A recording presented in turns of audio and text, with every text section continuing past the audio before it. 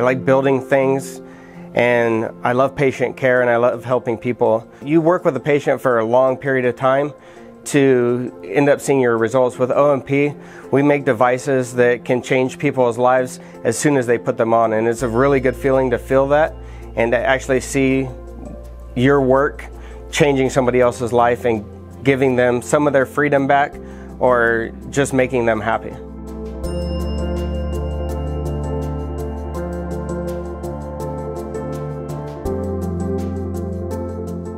We're not just, you know, on the books and exams and online now, but it's all hands-on.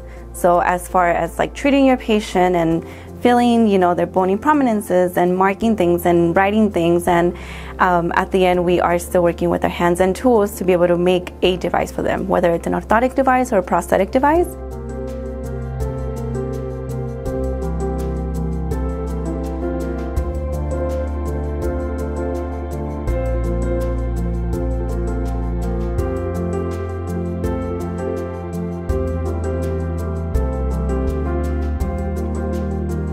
We have patient models that come in and work with us and we do actual patient care. We work with patients, we talk to them, we get their history, we do all of our examinations on them, their, our testing to get all the pertinent information we need to make them the devices that will be best for their lives.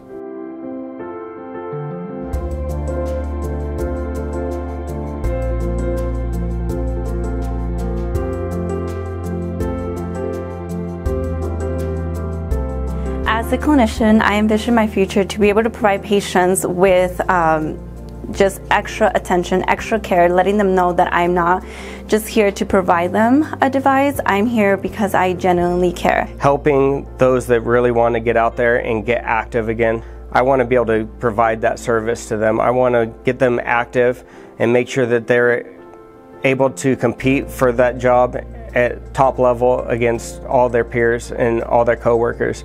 So if I can dedicate my time to them, then I, I would like to do that in the future also.